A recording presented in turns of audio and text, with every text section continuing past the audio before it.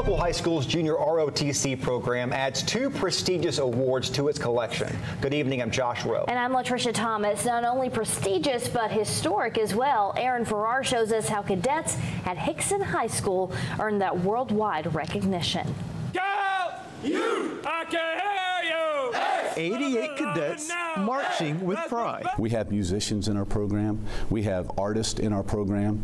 You know, we have, um, I've had an individual four or five years ago that had Down syndrome. You already in the Air Force, you gotta do it my way! A melting pot for Hixson High School's Air Force Junior ROTC unit. It's a special one to instructor Doug Burhan. Um, I love being with these people every day. Um, they're like my own kids. This unit has more than 20 streams that are up on that wall, but this one is the first of its kind. It's a Distinguished Unit with Merit Award, the highest honor for not only meeting standards of performance and service,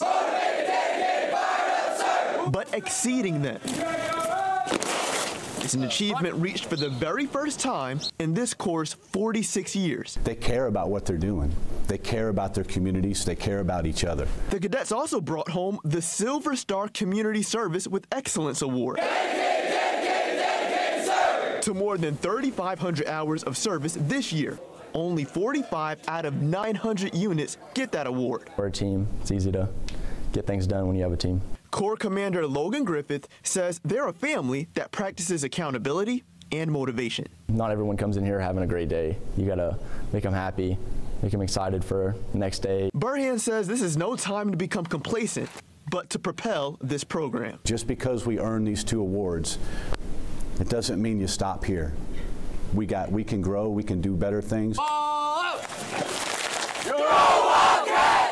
Reporting in Hixson, I'm Aaron Farrar, News Channel 9. They have an outstanding program there for sure. The awards were presented today.